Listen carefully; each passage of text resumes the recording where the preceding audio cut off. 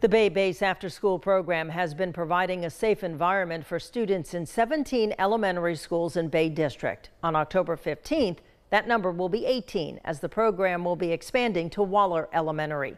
News 13's Grace Velez tells us how this addition will help parents and students in the community. Come October 15th, Waller students will have access to after school care on site thanks to the Bay Base After School program.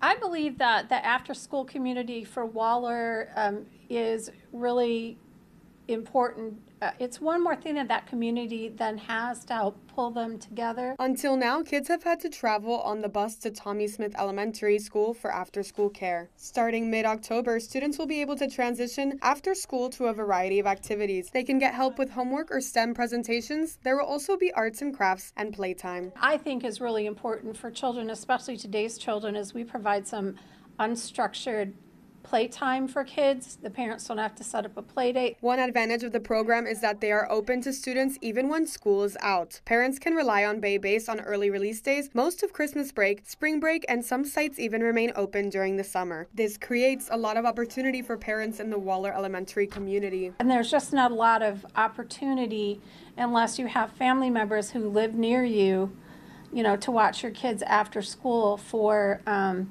things for them did, you know, viable things, safe things for families to do with their students after school, and we provide that. In Bay County, Grace Velez, News 13, Panhandle Strong.